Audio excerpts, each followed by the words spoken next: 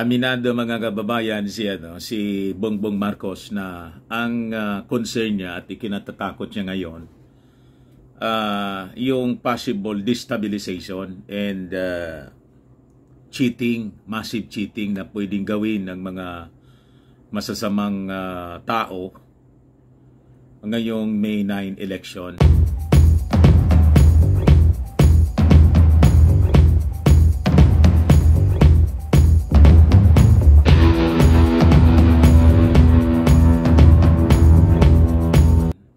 Ito ngayon yung balita na inilabas ng ABS-CBN. Marcos Jr. says he fears destabilization, potential cheating in Halalan 2022. Uh, in an interview, mga kababayan, with CNN Philippines, Marcos claimed that any destabilization that would happen should he win the presidency in May would come from his opponents. Siyempre, sino pa man ang uh, magbabalak, the same, the same group of uh, people, dadilawan na nagpalit uh, anyo, ngayon multicolors na. Should I win, will my supporters destabilize? Tanong niya po. So if there's going to be destabilization, it will come from them, not from us. Di ba? Alam nga naman yung supporters niya, yung nasa likod ng destabilization. Siyempre, opponents. Nanalo na eh. Bakit naman sisirain, di ba? Uh, that's a funny assertion to make by them. Kasi binabaliktad lagi po ng mga kakampon. Walang iba man pong mang, nanggugulo sa ating bansa, mga kakampon. Panon pa ng tatay niya, kaya nga po, dineclare yung martial law.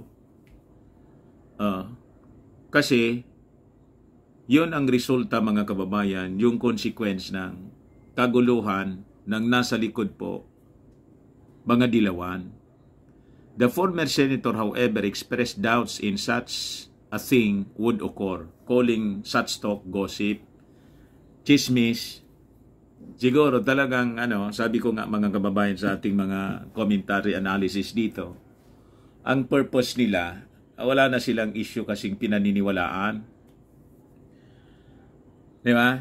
Wala man isyong pinaniniwalaan na galing sa mga dilawan. Ngayon, uh, scare tactics na sila ngayon. Tatakotin nila yung mga tao na magkakagulo at sasabihin nila, iyon yung sinasabi nila mga kababayan ngayon na there will be massive cheating. Uh, pinapalabas na yung massive cheating po ang mandadaya yung administrasyon nakatandem sa unit unit team mga kababayan si Bongbong Marcos and yung administration. Dadayain para ma masiguro yung pagkapanalo ng unit team. What? Paano mandadaya sabi ko? Paano mandadaya ang leading front runner ka? Mandadaya ka. Walang motibo ang uh, administrasyon, walang motibo mga kababayan ang unit team na Mandaya. Kasi sila po ang clear ano winner. Uh, napaka ano napakalinaw na ang susunod na administrasyon Marcos uli Marcos pa rin. You see? Hindi dahil nanakot sila nag-intimidate,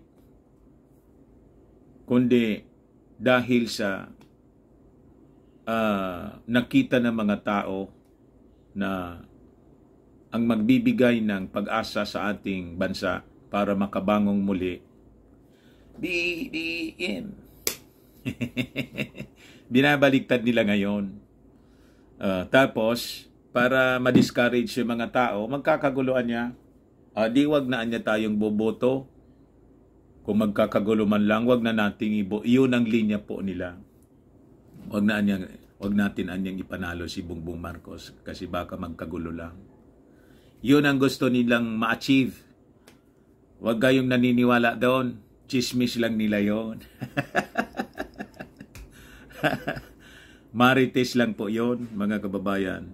Siyempre, alam, alam mo, at this stage of the election, at this stage of the campaign, ang dami ng chismis. Si ganito may ginagawa, gumagalaw yung mga sundalo dito, o yung ganitong grupo, ganito yung ginagawa, sabi po niya. The Philippine National Police has previous, previously said it will verify Lacson in Gonzales claims. Di ba yung sa press ko nila? Pinalabas nila ito, mga kababayan, na uh, balita uh, para yun, yun ang motibo nila noon. Remember po, shipping, dilawan po shipping, barkada ni Panot, kasi binigyan siya ng proteksyon ni Panot. Remember nang magkakaso si Ping? Si Norberto, appointee ng ano, as advisor, uh, National Security Advisor. Dilawan. so gumagawa-gawa sila ng mga senaryo to discourage uh, voters from voting uh, for President Bongbong Marcos. Huwag kami mga kakampon, mga, mga style ninyo bulok. Alam naman ninyo na biktima na ako niya noong 2016, sabi po ni Bongbong Marcos, referring to the, you know, smart magic. Kaya syempre, kailangan maingat, di, maingat dyan. Uh, ngayon, may base ba yung mga fears ni Bongbong Marcos? Mayroon po. Ito nga oh. Inuli na ng mabutit na huli. Yung mga hackers, uh, basahin ko sa inyo. Three hackers in alleged Smartmatic Comelec data breach arrested. Tatlo na agents of the Cybercrime Investigation uh, and Coordinating Center, Center CICC have arrested three members of a hackers group who were tagged as responsible for illegally obtaining election-related data from COMELEC in January this year. CICC Executive Director Undersecretary Cesar Mancao said the three arrested jack, uh, jackers are members of the XSOS group that allegedly steal data, ninakaw yung data po, from the government and private companies and sell them for hefty prices. Alam niyo kung magkano yung benta? 60 million. Tingin niyo sino yung bibili noon. Yun ang hanapin yun ninyo po, mga taga-NBI. Sino yung pinagbilhan? Anong grupo yon? Kanino? Kampo, sino, sino yung sinusuportahan nila. In the case of compromised data from the COMELEC which was reported by the Manila Bulletin January, Mangkaw said the group was selling the information they stole for 60 million. Imagine that. He identified the arrested suspect suspects as Joel Ilagan alias Burger, Adrian Martinez alias Admin, X and Jeffrey Limpiado who uses the aliases Break, Vanguard, Universal, and LRR. They were arrested noong Saturday, mga kababayan. The three were already slapped with cases of violations of Cybercrime Prevention Act of 2012, especially in connection with system interference, illegal access in attempt to commit cybercrime. They threatened the Smartmatic and Comelec that if they would be ignored, they would release 60 gig gigabyte data of the Comelec. They had been insisting in the dark web that they could manipulate the result of the elections. Kita ninyo? Said Mangkao in a press briefing uh, kahapon, Tuesday. The Manila Bulletin broke the story of the threat of the group after it became a topic in the dark web. Mangkao said, it is in the dark web where cyber-related illegal activities are discussed, shared, and sold. Before the Manila Bulletin story was published, the COMELEC was informed of it and was asked for the reaction about the possible breach of confidential data from the poll body, but this was not immediately acted upon by the group and later Comelec officials denied the hacking incident. Uli kayo ngayon, Balbon. May insider po ito sigurado. May tao sa loob. How they were traced, Mangkaw said that as soon as the CICC learned of the incident, they immediately formed a team and ran after those responsible. They were contacted by our IT operatives and in fact, three meetings were held with them. The suspects were not aware that they were dealing with our operatives.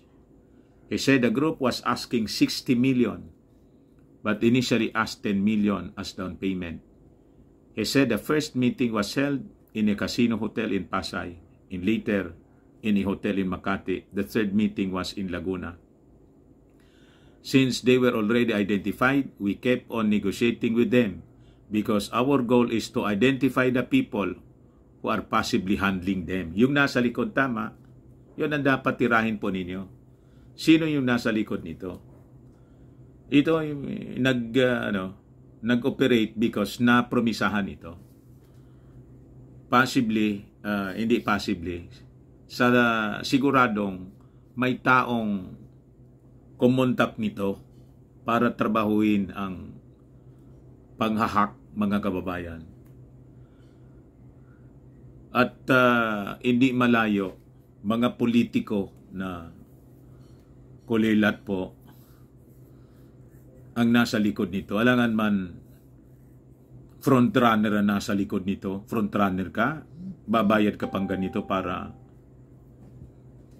Di ba? Yung mga mandaraya po, yung mga talunan po kasi, hindi sila mananalo sa fair ano, election, sa clean and fair election.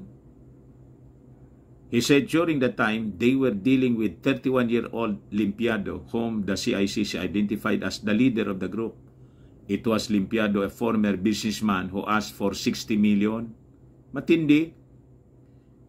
Uh, Mangkaw said, the group is connected to Ricardo Argana, the employee of the Smartmatic. O, oh, kita ninyo. Was already gone hiding. It was Argana who reportedly downloaded files from the Smartmatic in its Laguna office and later shared the stolen data with a group of Limpiado. Ati-ati kasi sila doon sa warta. May nang, nagkontrata sa kanila sigurado. And siyempre, politiko yon na gustong manalo. Kung hindi politiko, uh, mga kababayan, yung nasa likod ng politiko na gusto nilang manalo. Diba? According to Mangkaw, the group of Limpiado was also responsible in several cases of hacking in the past. Among uh, them were the hacking of National Power Corporation website, hacking of ATM and credit cards, talagang sindikato po ito, and ransomware committed against local companies. Yan ang modus pala nila. But Mangkaw said those arrested have admitted that it is difficult to hack the Smartmatic in Comelec They admitted that they got access at the Smartmatic but they later said that they actually obtained the data from Argana. Oh, may inside ano? May inside uh, may insider mismo. Uh, the modus according to Mangkaw is to negotiate with some politicians who are willing to pay to ensure victory in the May elections. You see? So may mga client sila, offeran. Uh, with the arrest of the three suspects, Mangkaw assured Anyo that the May 9 polls will not be tainted with hacking-related cheating. Siyempre, hindi ninyo, hindi ninyo sasabihin kasi yung tao uh, mawawala ng tiwala. Diba? But with all this, uh, ano, developments and incidents, kaya nga po si Bongbong Marcos nagsabi na iyon anya yung pinag-aalala ko. The destabilization and the possible massive cheating.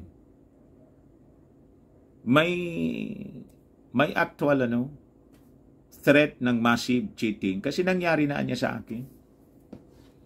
Bigla na lang naghang yung ano, The rest is history. Alam na ninyo. Alam ng buong mundo. ah, tanda ninyo po, ang, ang nandadaya po yung talunan. Yan ang may motibong mandaya, yung mahirap manalo. Ah. So, yun lang po mga kababayan ang ating ah, topics ngayon. Maraming maraming salamat sa inyong patuloy na pagsubaybay. Ako po si Dante Maravillas. Bye-bye po. God bless.